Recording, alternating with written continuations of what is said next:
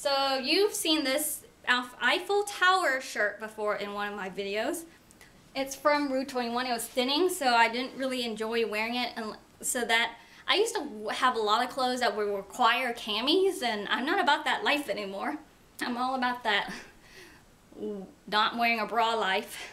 Also, the benefit of wearing buying dark dresses is I can go braless in them whenever I can. So basically, I bought a sewing machine as soon as quarantine started. I've always wanted to learn just how to sew because I've always wanted to be a fashion designer and I've actually like drawn designs before. Um, but my mom knows how to sew, but she never taught me. She didn't have time. And the sewing machine in our house like isn't good.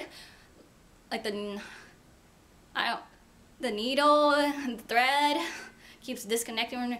I don't know how to say it in English. But anyways, I like have so much more mad respect for her now because this is like a simple skill that I wasn't able to do at the beginning, but then I got the hang of it, and I think I, I think I've got it now. And I feel like a selfish, not a selfish bitch, but see, no one thinks of these things, but I think of it myself. Like, I have a sewing machine, yet I'm not wearing sewing masks for people, and I feel kind of guilty, even though it's like not my responsibility to do those things. But I feel guilty because I see other people sewing masks, but I'm just over here sewing headbands and shit. I'm like, I'm a horrible human being. Why are people just, but then I remind myself, you're not, I'm not a horrible human being. Like there are other ways to do good and you're doing a lot of good. Yeah, I've been very insecure the past week because it's been a whole month since I've seen other people. but anyways, back to the main topic. I took this, so because it's quarantine. I haven't been able to go outside and buy fabric to sew stuff, but I have started a bag. So a good thing to have is always a bag for you to donate stuff. Um, so, and I fished this out of the bag, this shirt that I've been wanting to donate. And I cut out and I made some headbands because I don't own any headbands and I was scrolling through Instagram I saw my friend Sarah.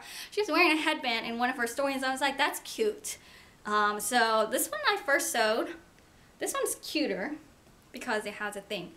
But I don't know if I'll look cute right now, but this one I sewed inside out.